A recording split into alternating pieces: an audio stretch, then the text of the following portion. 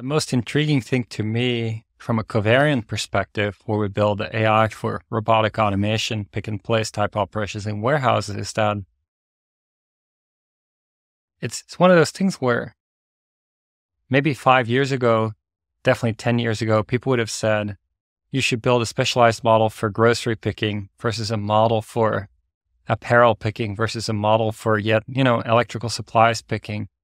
And it turns out that building a single model for all of them is better for every single one of them. It's it's this funny thing where specialization doesn't help you. It's the opposite. It's by training on everything that you get a, a level of generalization. I think that's what you're alluding to is that these models have a level of generalization that's different from what was possible before and allows you to kind of get to much higher levels of reliability because generalization is a lot better than it used to be. And so training this very large model on literally all types of objects to then go pick just groceries or go pick just apparel has been, to me, very interesting. It's been something we've been doing for a while.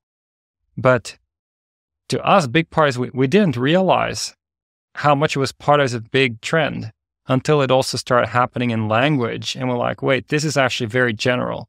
This is something that is the new wave of AI is that you should probably in general train in a very general way.